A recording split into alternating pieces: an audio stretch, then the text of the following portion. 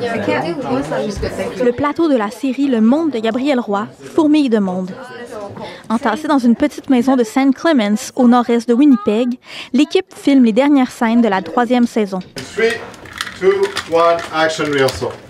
La majorité des huit épisodes se déroulent en Europe, puisque l'autrice franco-manitobaine a visité ce continent dans les années 30.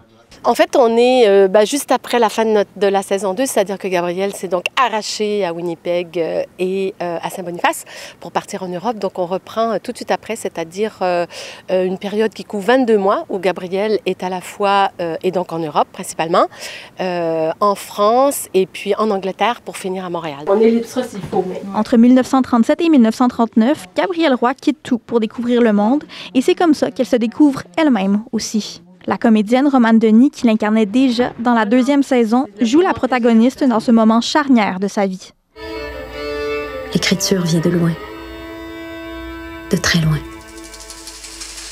La réalisatrice Renée Blanchard considère que cette saison est bien différente des deux premières puisque Gabrielle Roy n'est plus une enfant.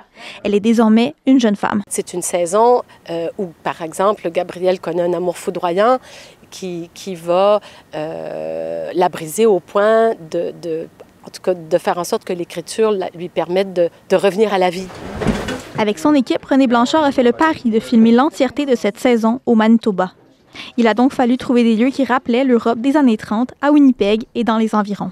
On a découvert que peut-être avec le palais législatif, à l'intérieur, on pouvait faire une station de train à Paris. L'extérieur, on pouvait faire un jardin, une terrasse. Puis ici, présentement, qu'on est, ça, c'est plutôt l'Angleterre. Puis euh, Manitoba a cette région ici qui était développés par la baie du Son, qui sont venus. Donc, une architecture plus anglaise, avec des maisons, avec des de 1880. 17-18, les narrations ne changent pas. Non. Pour René Blanchard, le choix de demeurer dans la province confère un caractère unique à cette troisième saison. Est-ce qu'on ne pourrait pas essayer de, de, de, prendre un parti pris artistique qui nous permette de faire ça à partir d'éléments qu'on a ici et de travailler avec euh, euh, des effets spéciaux, des choses comme ça? Mais on s'entend qu'on est dans quelque chose de très euh, euh, simple dans la manière de faire, mais en même temps radical. Les tournages des huit épisodes de la troisième saison de la série Le Monde de Gabriel Roy se sont terminés la semaine dernière. Il sera possible de les visionner sur la plateforme ici tout.tv extra au cours des prochains mois. Ici Véronique Morin, Radio-Canada, Winnipeg.